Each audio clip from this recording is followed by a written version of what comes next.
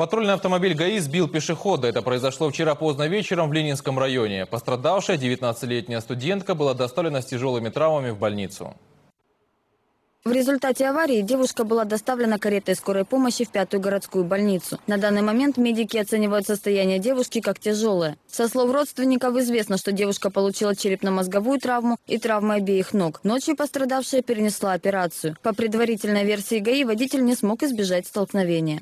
Ситуация сложилась таким образом, что наряд э, сотрудников ГАИ, э, двигаясь на служебном патрульном автомобиле ВАЗ-2107 в районе э, пешеходного перехода совершил наезд на девушку-пешехода Как рассказал в телефонном интервью свидетель ДТП Денис Довженко, машина ГАИ двигалась с большой скоростью. Обернувшись на звук тормозов и столкновения, он увидел окровавленное тело девушки.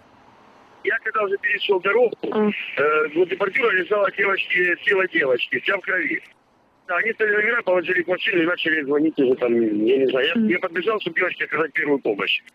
Разобраться, где правда в этом деле, предстоит работникам прокуратуры Ленинского района.